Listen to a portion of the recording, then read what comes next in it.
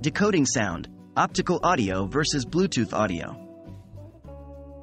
Hello, fellow audio enthusiasts. In today's discussion, we're going to talk about two popular audio transmission technologies, optical audio and Bluetooth audio. Both are used in our daily lives, from home theaters to headphones. But do you know the main differences between them, especially in terms of audio quality? Let's find out. What is optical audio? Optical audio, also known as Toslink, is a digital audio output connection. It uses light to transmit audio data from the source to the receiver, hence the name optical. It is often used in home theater systems, gaming consoles, and high-end audio equipment.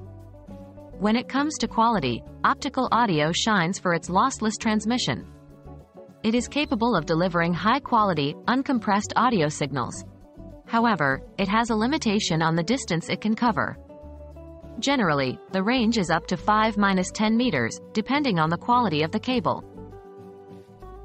What is Bluetooth audio? On the other hand, Bluetooth audio is a wireless technology used for transmitting audio data. Its versatility and convenience have made it omnipresent, from portable speakers to headphones, and even in our cars.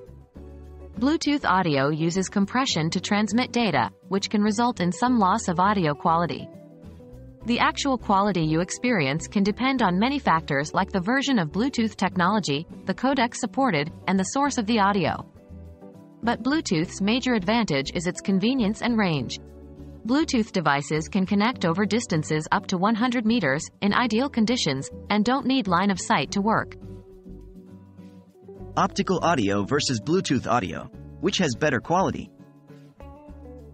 Comparing the two, optical audio generally offers better sound quality due to its ability to deliver uncompressed audio signals.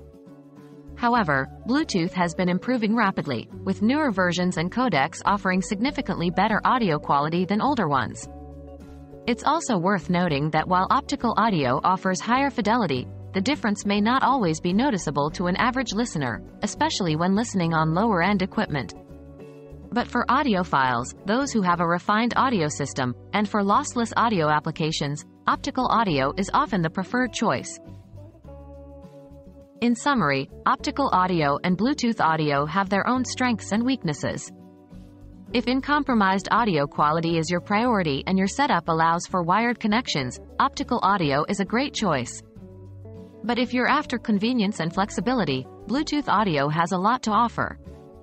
As always, the best choice depends on your specific needs and the context in which you're using the technology.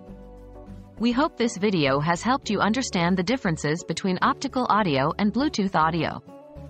Until next time, keep the tunes flowing.